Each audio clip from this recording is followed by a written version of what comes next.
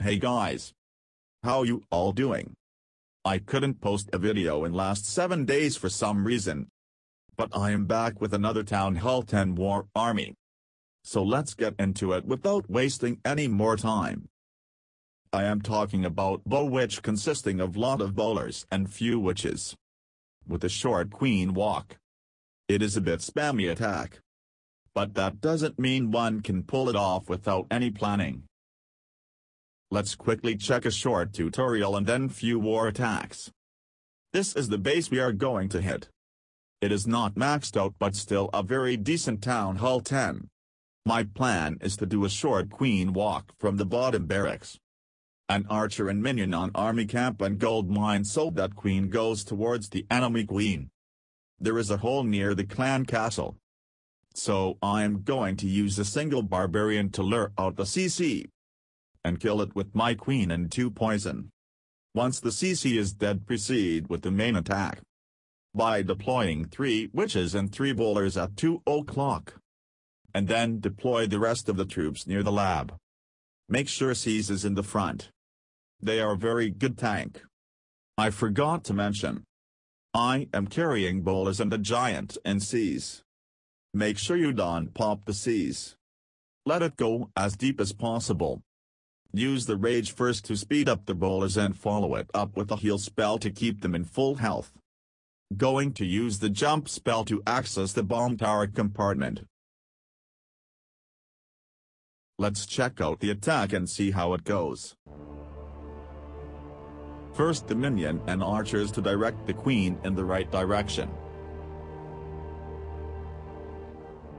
Poison on the enemy queen to kill it safely since I don't want to use rage on the queen not viable for such a short queen walk. Gonna trigger the CC using the barb and poison it. Will use the ability if needed. A lot of players like to kill the CC on the run with queen walks but I think this is more cleaner and safer. Once the CC is down proceed with the main attack.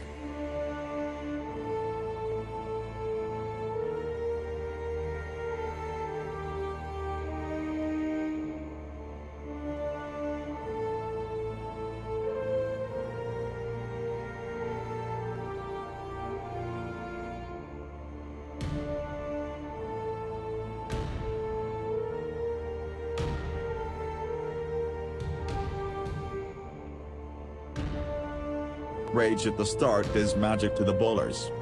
It's all about gaining momentum and maintaining it.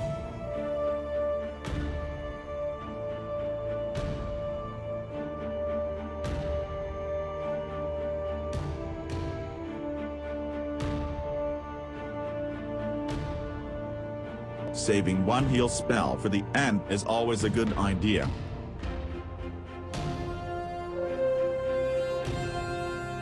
You have to agree the Lunanda bomb tower was pretty smart. Hehehehe. That was me laughing.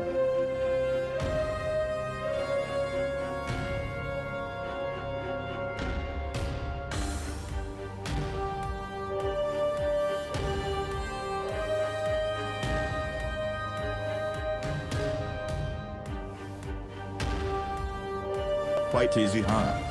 Let's check out one more attack.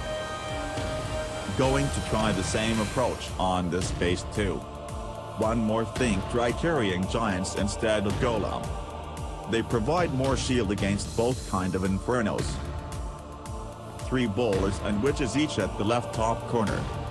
You might think this is lot of troops for corner. But remember you don't want your bowlers in the center walking to the side.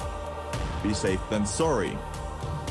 And if this video helped you in any manner, do subscribe and like. Cheers. I am gonna shut up now and let you enjoy the rest of the attack.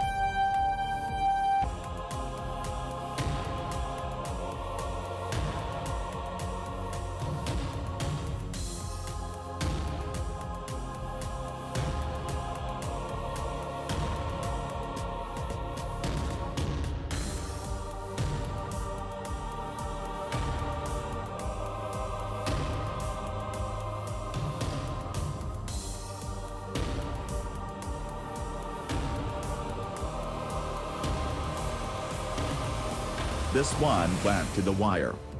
God bless the minion.